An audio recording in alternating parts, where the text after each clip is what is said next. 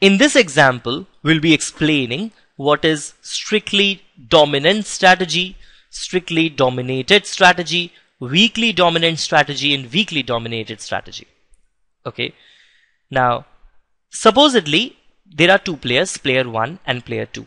Player 1 has two choices, A and B. Are, these are two strategies which are available to player 1.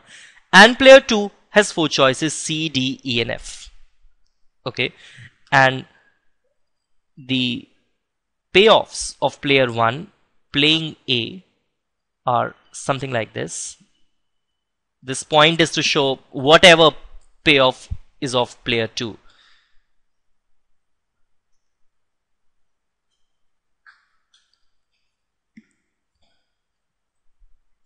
Like this. Okay. Now supposedly if player 1 plays B then the payoffs say they are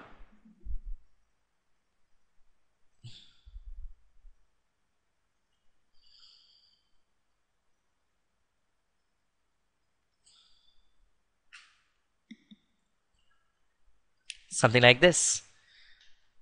Now in this case no matter what player 2's payoff are when player 1 chooses A it gets a higher payoff in every situation.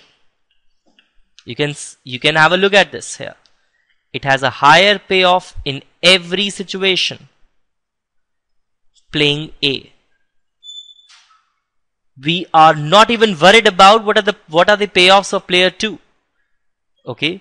Given these payoffs of the first strategy of the of, of the strategy A, player 1 is never going to play strategy B. Fine. So what have we concluded from this? When player 1 chooses A, it gets higher payoff in every situation. So this is, in this case, we can say that A strictly dominates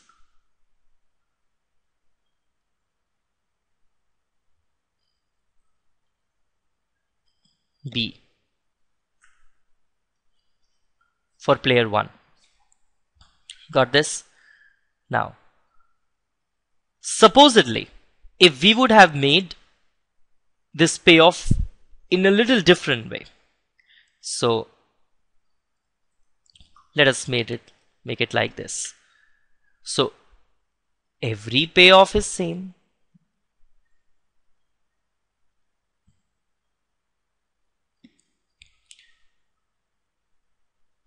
yeah. So as you could see when player 1 chooses A it gets these pay, he he gets these payoffs playing A. If he plays B he gets these payoffs. He gets equal payoff in these three situations but only in this situation he gets higher payoff from playing A. Okay so even if there is only one payoff which is higher and all other are equal, then the strategy which is giving a higher payoff only in one situation is going to weakly dominate the other strategy. Okay. Well, it could very well be the case that in two situations it is giving you higher and the other situation it is same.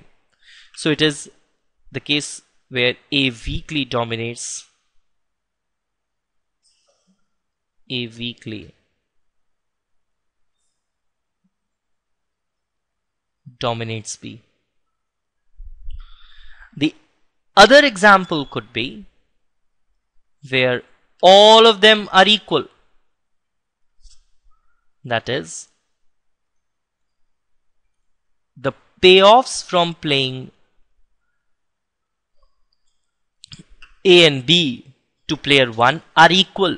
So you could say A is equivalent to B.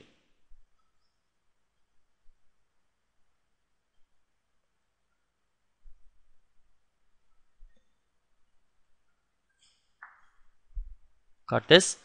So in this example, we have learned how to identify strictly dominating strategies, weakly dominating strategies, and equivalent strategies.